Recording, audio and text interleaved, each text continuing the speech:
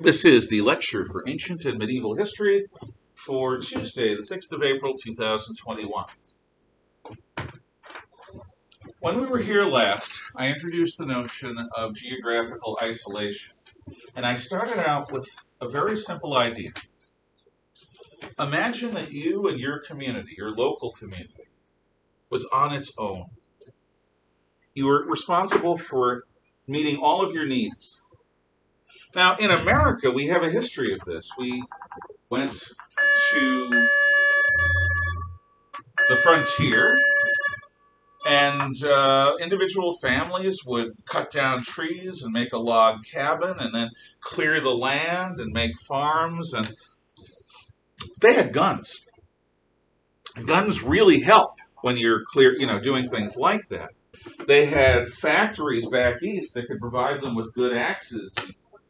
So even the most mountain man type front, frontiersmen still had access to items produced long distances away. And they depended upon muskets and rifles, which, again, they probably didn't make themselves because making weapons, making firearms is not easy. So it's a bit like the American frontier, but more so. In a typical Anglo Saxon village in England, there was a pit, a small pit, where everyone in the community would uh, urinate. And this urine might be covered, there might be a lid on the pit, there might not be. And so everyone who has to go and urinate goes to the pit and they do their business. And it's, it's there, it's sort of the village pit. Why? Well, it's not just for sanitary purposes. It's because the urine has the ability as a chemical to do certain things that they wanted done. So they, uh, there are people in the village who would actually then boil the urine and render it down into a paste, or they'd use it as a bleach or, or, or an ammonia. It was just, they'd use it. Why? Because they needed to. Because it did a job that nothing else in their world would do. What did they make their walls out of? Well, it was called wattle and daub.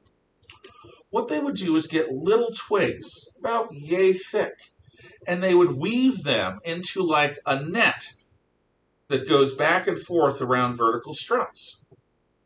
And that's the, uh, the wattle. It's this sort of wicker work.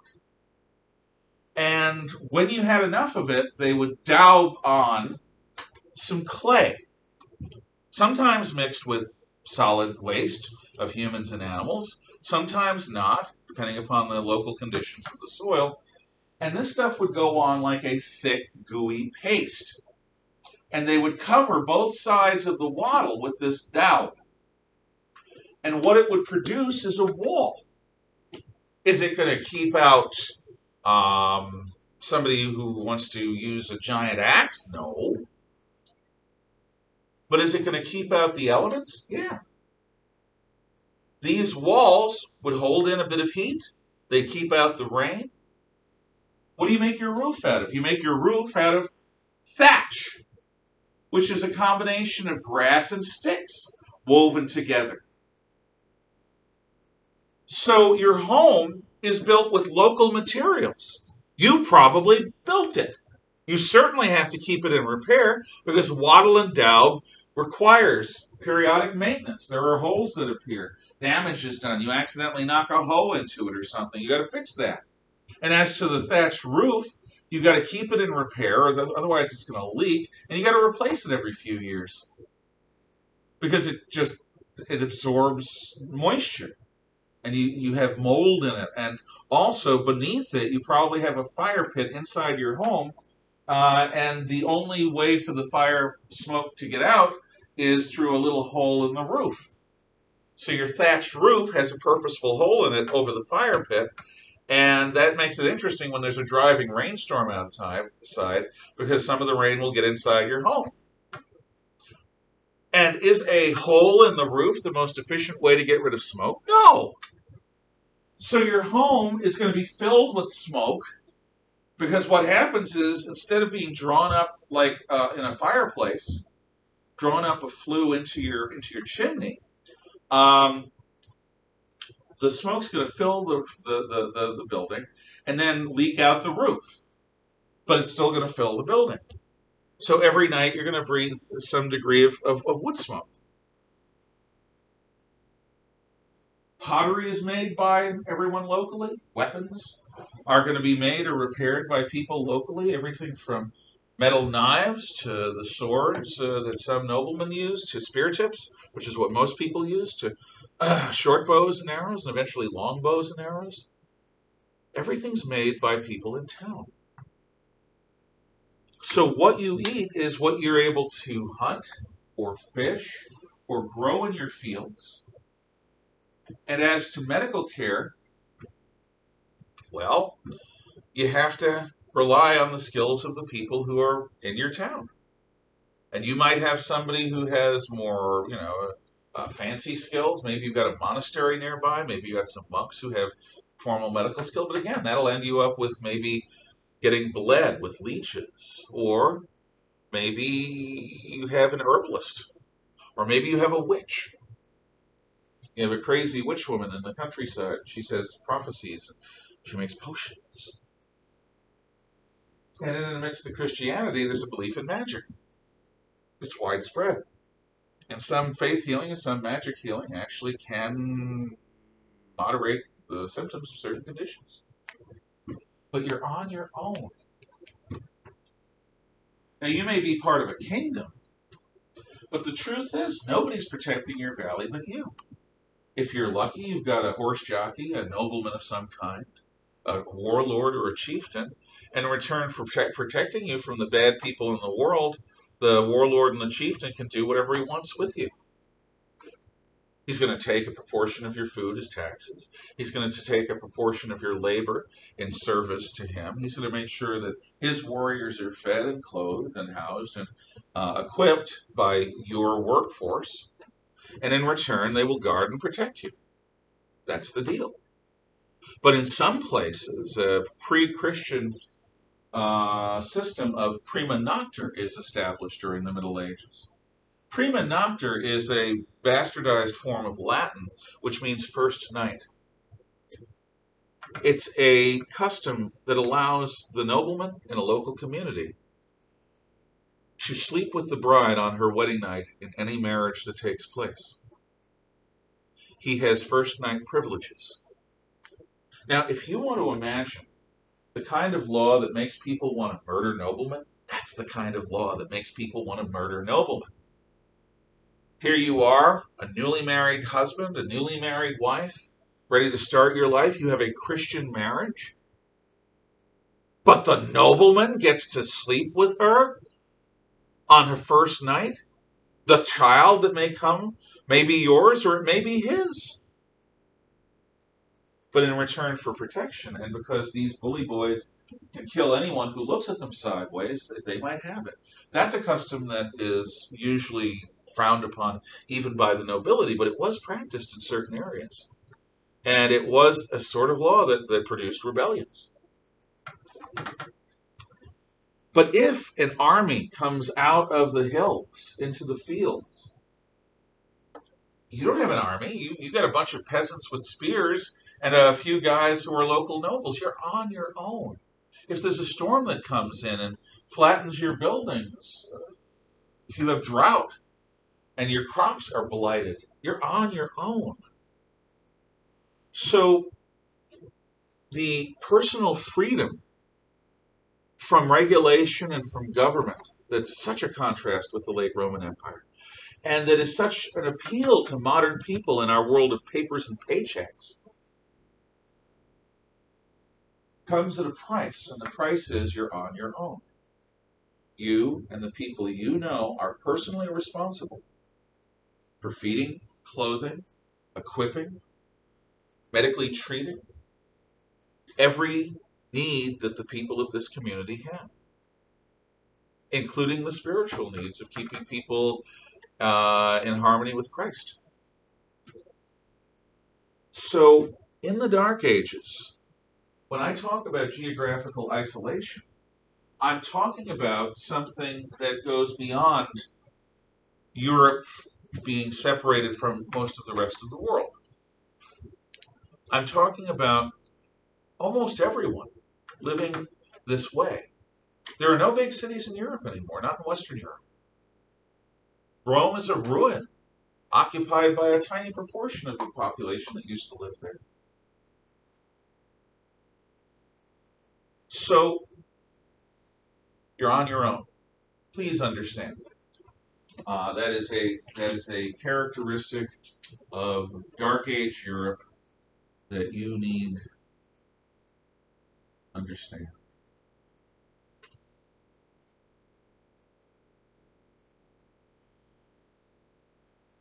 Now,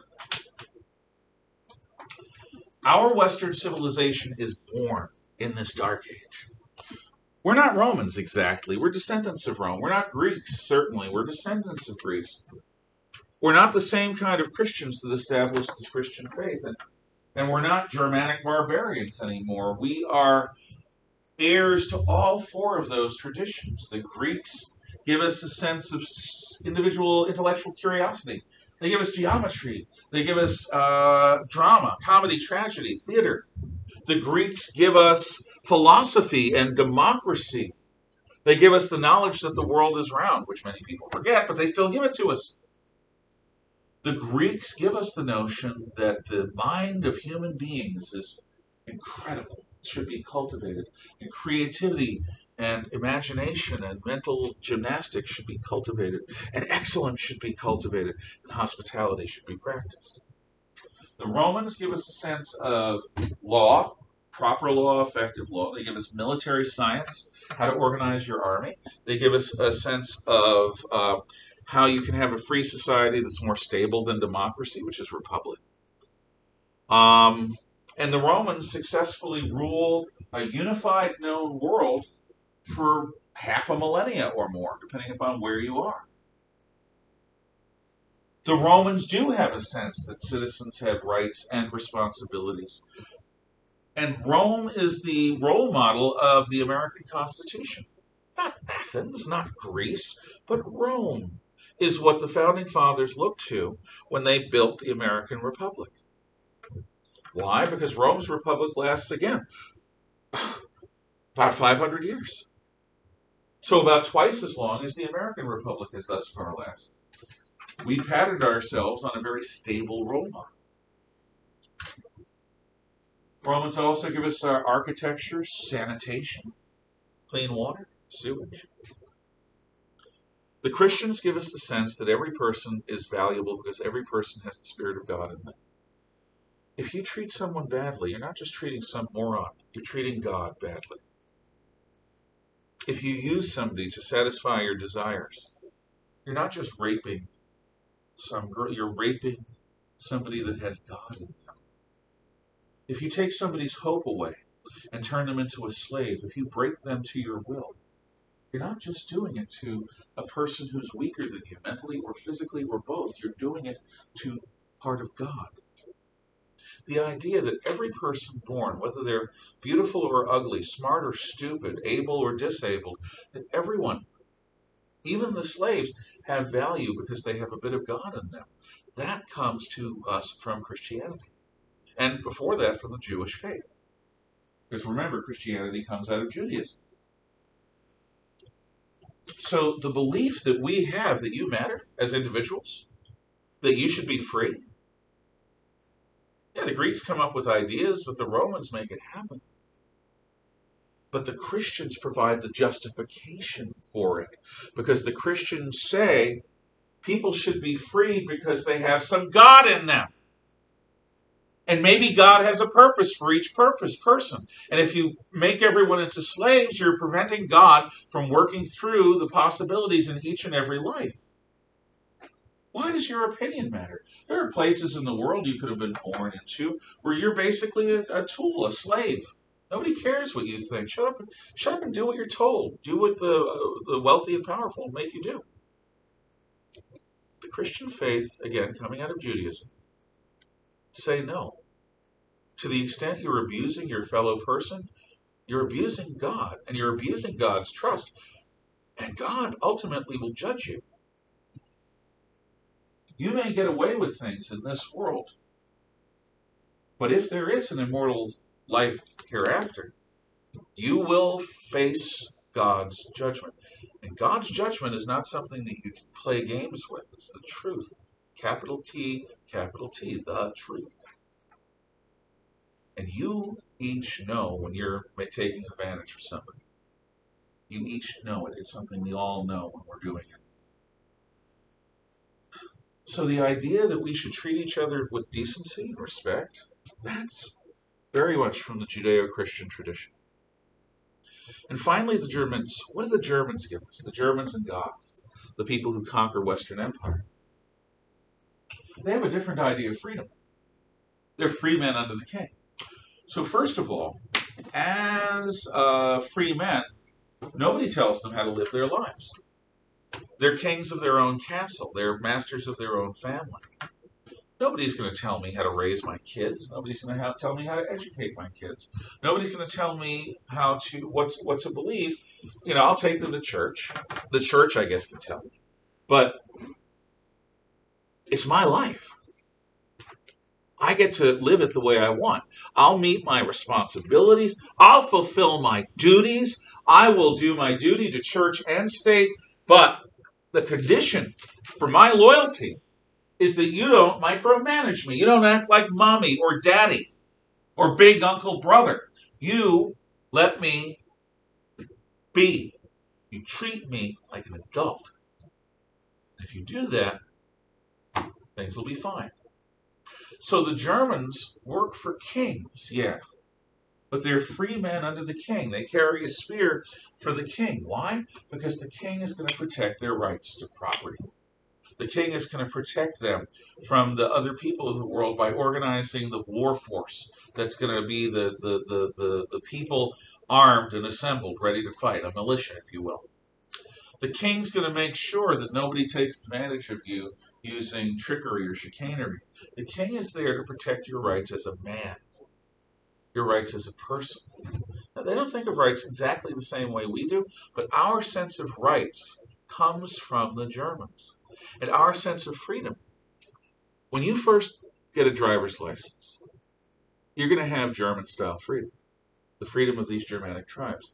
Because when you have your driver's license, you're going to be able to go wherever you want if you can get your parents to agree and if you can pay the gas and maybe the insurance, maybe the vehicle cost, depends on your family. But you don't have to wait on somebody who's going to give you a ride. You don't have to go where other people are willing to take you. You don't have to ride your bike halfway across town. You can drive. You can go where you want to go on your own schedule. If you want to bring friends along, you can bring them along. If you want to go to the store, you can go to the store. It's a form of freedom that's not political, it's personal.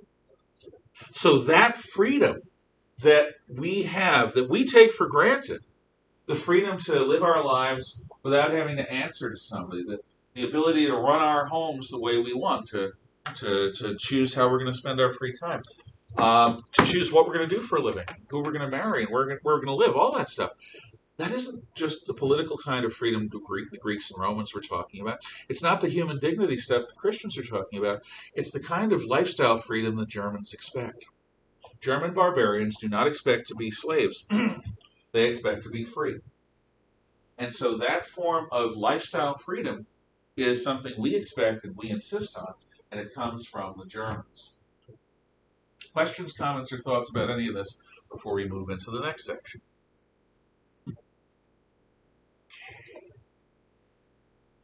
Next section. Europe is a giant pocket geographically. It is a pocket. Let's see. We've gone over this perhaps, but I'm going to go over it again because it's important, because this is part of the geographical isolation. Okay, you're going to have trouble seeing this. But I think if you look along in your maps, you can follow uh, what we're doing each and every. You may want to follow along on your maps because you're not going to be able to see this. So Uh, you know what? Forget that. I'm going to stand behind you. So if you want to move, Mr. Dixon, you can. If you want to stay there, you can stay there. Just don't don't be bothered by me looming. I'm not really looming. So here's Europe. Here's Western Europe. Here's where Christendom is. Could you aim the uh, chair over here, please? Thank you. Okay. So uh, here we are. And if you're behind, you can move or whatever if you can't see. So here's Europe. Okay. How is Europe in a pocket? It's a continent. It's a. It's not even on its own. It's it's it's, it's part of Eurasia, Africa, a giant landmass. Well, here's how it's in a pocket. To the south is what feature? What is this feature? Well, it's not. It's in Africa, the continent. But what what feature is this big, bright, sandy area? Yeah, the Sahara Desert. And you see how big it is? The Sahara Desert is very, very, very, very big. It's actually larger than it seems on this map because of the projection that's used. The only people who can cross the Sahara are the Berbers who live in North Africa who know where the wells are. And they're not telling. So this might as well be a giant 300 foot wall of titanium razor wire with frickin' lasers on top. Okay? Nobody except the Berbers is going to go through Africa. The only way uh, south that is habitable is the Nile River. And the Nile River goes through some pretty nasty territory. It's not easy, and there are hostile tribes. So basically, this is the bottom of the pocket, the southern end, of the Sahara Desert. What's this feature here to the west of Europe? Just say it loud. Three, two, one. The Atlantic Ocean. The Atlantic Ocean. The thing about the Atlantic Ocean, unless you're a Viking, is that it's impassable. The European technology is so primitive that none of their ships can go deep into the ocean because they're too fragile and ungainly. The ships that Europeans have are good for the Mediterranean Sea, and they're good for the Baltic Sea, sort of, and the North Sea, and sort of the coastal waters around Europe. But you go big into the deep empty, and uh, the sea monsters will get you. That's what people thought. Because people who went into the Atlantic didn't come back. It was like they fell off the edge of the world. And again, a lot of people think that the world is flat now. The uneducated believe the world is flat. So out here in the Atlantic is a giant waterfall. It's the edge of the world. And if you go too far, if the sea monsters don't get you, you're going to fall off the edge. Ah, Forever. So this is a barrier. Now, eventually the Vikings cross the North Atlantic, but nobody believes them because they, they're usually drunk when they're talking about it. And besides, most people don't talk to Vikings because they're scary. Okay, what's here to the north of Europe? What region? Three, two, one. Arctic. Thank you, everyone. Yes. The Arctic! Arctic. You know what the Arctic is? It's cold. Water becomes ice. Ocean becomes ice cap. Icebergs. It's so bad that if you go outside, the skin will literally get burned by the wind and the cold. If you don't uh, bundle up properly, you'll die of hypothermia. Your body temperature will become so, so low that you literally will die because your core temperature goes below the safety limit and your organs will die. Nobody's getting through here. In fact, it isn't until the 1900s when we have airplanes and modern ships and modern guns and all the steam engines, all that stuff, that people first get to the North and South Pole. 1900s, just about 100 years ago. The Arctic is an impassable barrier. And that leaves the east, the northeast, and the southeast. Let's look at the northeast. It's the steppes of Russia. In fact, the North European plain stretches all the way to the Ural Mountains. And beyond the Ural Mountains are the plains of Siberia. Basically, with, a, with the exception of the Ural Mountains and a few mountains over here, there's a giant open field between the Spanish border and the Pacific Ocean. It's grassland. And grassland should be so easy to cross. You know, when I was a little kid, what we used to do, one of the things we used to do for fun, is we would roll around on the grass. We'd go to the top of a hillside, thank you, and uh, we'd roll down the hill. Whee! We get dizzy. Sometimes we get, no, we, we didn't really get sick. We stopped before that most of the time, I guess. But grass is so safe. It's even cushy. I mean, you could fall on the grass, you, you might not get hurt. So, what could be safer than open grasslands? Yeah. Well, tundra is to the north of the grasslands. Uh, a lot of Siberian tundra basically is cold grasslands. You're right. Some of it's permafrosty.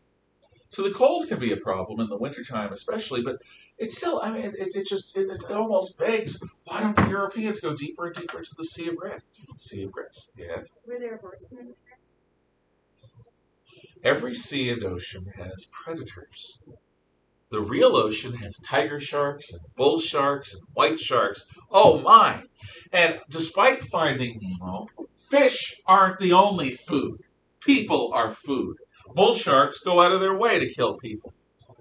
So, if you go into the ocean, you have to mind the sharks and the barracudas and the killer whales and the electric eels and the poisonous snakes and the, the kingfish, I think they are. They're really spiky and hyper poisonous, and the Portuguese man of war, and the thousands of other predators that exist in the ocean. It's a scary place. Well, this sea of grass has human sharks in it, human predators. They're called Huns and Mongols and Magyars, and, uh, and past times uh, they were called Sarmatians and Carpi and, and Bulgars. But what they are are horsemen. And these tribes of horsemen basically roam the grasslands looking for trouble. And if trouble appears, they capture it or kill it uh, or eat it. They're not really cannibalistic, most of them, but they wander looking for trouble. You know, most people in life try to avoid trouble, not these barbarians. The horse nomads of the rush of the steppes, now the Russian steppes, these these rolling grasslands. That, that if you remember your geography, those are what steppes are. The rolling steppes of Russia are filled with these tribesmen. So you go in there with a caravan of goods that you want to sell at the other side of the sea, or you go in there with a, you know with your peeps, you're with your people. Sorry, you go in there with your human beings. Peeps, I can't believe I said that. And um, what's going to happen is uh, they'll they'll enslave you if you're lucky. They'll enslave you. They might kill you, or they might, for the fun of it, let you pass, so that maybe others like you will come along someday and they'll be able to exploit them. The steppes are actually incredibly hyper dangerous. Even though it's just rolling grasslands, geographically there's no problem, except winter. Um, the tribesmen of the grasslands make it impossible. In fact, the only time that that area is easy to cross in the history before modern times is when the Mongols, one of these tribes, takes over the whole area and makes it safe to travel because the Mongols run everything now. And if you mess with the Mongols, they'll bleed you so slow on your way to die. Don't mess with the Mongols. It's scary people. So, um, the only way in and out of the pocket is through the southeast. And the southeast is the Middle East. Southeast of the European pocket is the only way in or out. Southeast of Europe is the Persian Empire. And later the Arabs, and before that the Parthians, and then the early Persian Empire. This is the only region that borders Europe that's civilized. So the only nation Rome had to worry about for centuries, the only organized country were the Parthians or the Persians. And if you want to go on roads protected by police and laws, uh, you could leave Roman lands, show the Persians you're not a problem, maybe that you'll even bring profit to their land, and go trading in Persia. And as long as the Persian government approves, you're, you're fine. But that's the only way in or out. Europeans can't cross the ocean yet. They can't cross the desert. They can't go along the coast of Africa because of storms and currents. They can't go through the Arctic. They don't have the technology. They are isolated. They can't go into the steppes because of the horsemen. The only way in and out is through the Middle East. And this is going to be important later. And when long distance trade breaks down at the beginning of the Dark Ages, well, that's going to be a problem. It just further isolates. Now, in the Middle Ages, India and China also go get into isolated areas. Um, India, which had had some contact with China in the Middle East, becomes more isolated during its medieval period. China gets cut off from the rest of the world during its medieval period, for the most part. But Europe is the most isolated of all of them. Now,